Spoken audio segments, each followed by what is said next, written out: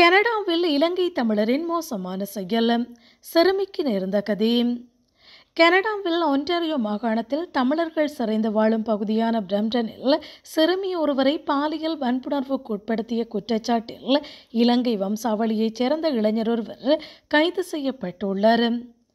அனுசன் ஜெயக்குமார் என்ற சந்தேக நபர் கைது செய்யப்பட்டதாகவும் பேல் பிராந்திய காவல்துறையினர் தெரிவித்துள்ளனர். பிரம்டனில் உள்ள பவர் டைவான் மவுண்டனாஸ் வீதியில் வைத்து காவல்துறை அதிகாரி போன்று ஆள்மாறாட்டம் செய்து பதிமூன்று வயதான சிறுமியை பாலியல் வன்புணர்வுக்குட்படுத்தியதாக சந்தேக நபருக்கு எதிராக குற்றம் சாட்டப்பட்டுள்ளது.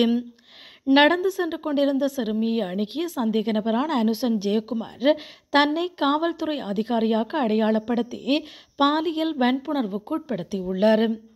சந்தேக நபரின் நிழற்படத்தை வெளியிட்டுள்ள காவல்துறையினர் சந்தேக நபரால் மேலும் பாதிக்கப்பட்டவர்கள் இருக்கலாம் என்றும் அவ்வாறானவர்கள் இருந்தால் தம்மை தொடர்பு கொள்ளுமாறும் காவல்துறையினர் கேட்டுக்கொண்டுள்ளனர் காவல்துறை அதிகாரி போன்று ஆள்மாறாட்டம் செய்தமை வலுக்கட்டாயமாக சிறைப்பிடித்தமை பாலியல் வன்கொடுமை செய்தமை மற்றும் பாலியல் குறுக்கீடு செய்தமை உள்ளிட்ட குற்றச்சாட்டுகள் சந்தேக நபருக்கு எதிராக முன்வைக்கப்பட்டுள்ளன.